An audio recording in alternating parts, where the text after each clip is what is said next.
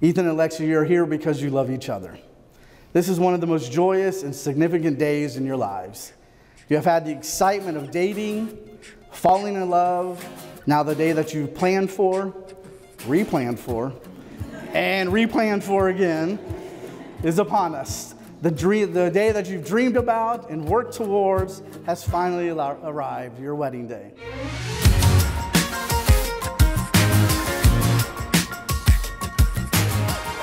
One, two, three, six!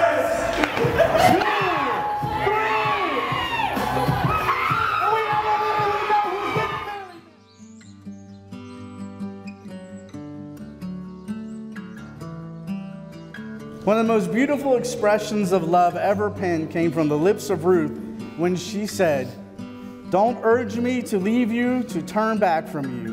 Where you go, I will go. Where you stay, I will stay. Your people will be my people, and your God, my God. Where you die, I will die, and there I will be buried. May the Lord deal with me, be it ever so severely, if even death separates you and me. These words are from Ruth to her mother in law, yet they represent and express the kind of love and togetherness that ought to characterize marriage.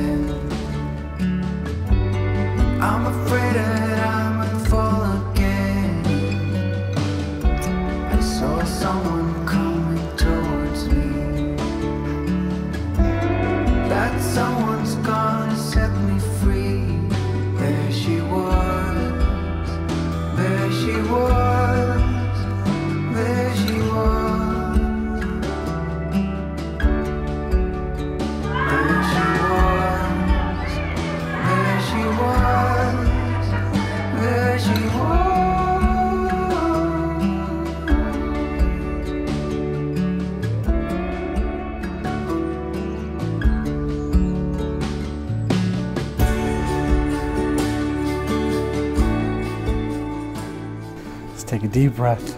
I love you guys. It's to be okay. He is here with us, and He will be with us the rest of the time. And so let's just pray. Heavenly Father, uh, you are a great and awesome God. These are two wonderful people that you have brought together, and I can't be pleased, uh, more pleased to be involved in this and part of this. And you are going to do great things through them and with them. We just ask that you calm their nerves, let them take deep breaths, and let them know that it's going to be okay. Uh, even if things mess up, chances are we'll be the only ones to know about it. And so just uh, remain calm, calm their nerves, and remind them this is not about flowers or anybody else, but it's about this love that you two share for each other. We love you and we thank you for everything you've done. We ask all these things in the precious and holy name of Jesus.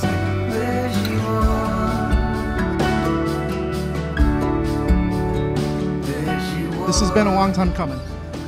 Long gone are the days of old flippy hair, sitting in dark hallways at church playing hide and seek.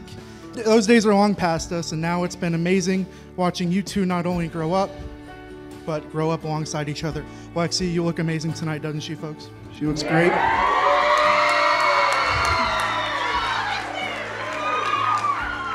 And I wrote this speech beforehand, and I was hoping I didn't cry, but I did cry. So uh, it took every ounce of strength in my body to not bawl my eyes out when I saw you walking down those stairs. I promised myself I wouldn't cry, but I think uh, I, I, that, that was ruined really quickly. Uh, I might have teared up a little bit. I'm so happy for you guys, and I'm so glad that I get to legally call you my sister now. Once again, thank you guys for coming out to share this lovely night with, uh, with these two. And I would like to propose a toast. I don't have a drink, but I'll propose a toast to Ethan and Lexi. May God bless you with many long years of marriage.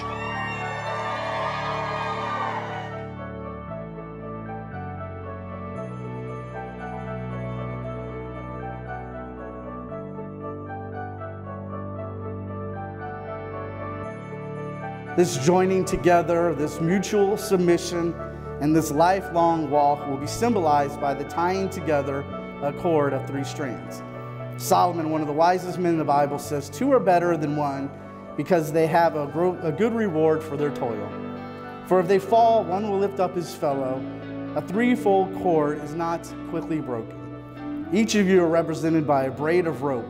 Before today, you were separate and living your own lives. But today, there is a third cord that comes up. This is God. And God is that, that third cord that will be throughout your lives. And Ethan and Lexi are acknowledging that God will be an integral part of their lives and marriage. Today, Ethan and Lexi will be woven together by God as one.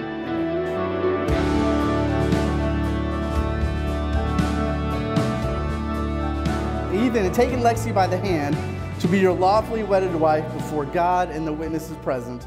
You are vowing to love, honor, cherish her, and stay by her side in sickness and in health, leaving all others, cleaving to her, and vowing to her to be a true and faithful husband as long as you both shall live. Do you so promise? I do. And Lexi, and taking Ethan by the hand to be your lawfully wedded husband before God and the witnesses present, you are vowing to love, honor, cherish him, and stay by his side in sickness and in health, leaving all others, cleaving to him, vowing to be him a true and faithful wife, so long as you both shall live. Do you so promise? I do. And by the authority of the state vested in me as a minister of the gospel, I declare that they are husband and wife. And Jesus said, Therefore, what God has joined together, let no one separate. Ethan, you may kiss your bride.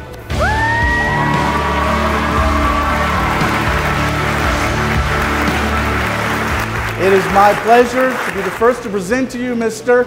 and Mrs. Ethan and Lexi Fletcher.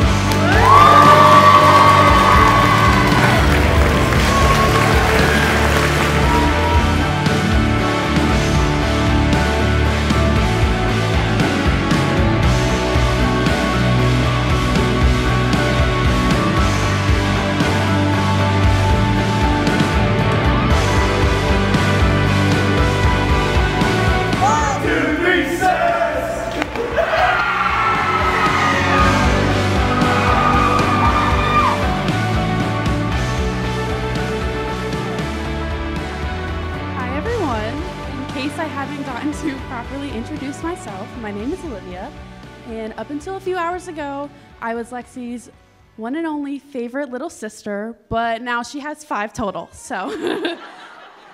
I've been waiting for this wedding since the day Lexi and Ethan met many, many, many, many years ago. I couldn't have picked a better husband for my favorite person in the entire world.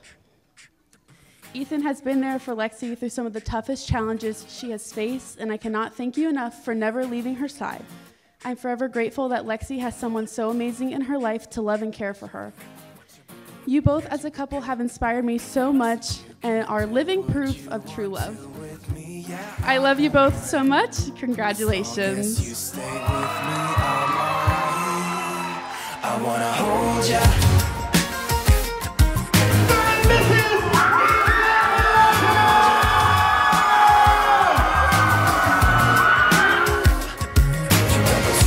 Blue eyes, black skinny jeans, and every room you walk into, you're always setting the scene. I wanna hold ya, hold ya. We went out of the club and we started walking the streets And then we stopped for a while and you said you wanna kiss me I remember thinking, is this really happening? Happening, happening I never thought I'd meet someone so beautiful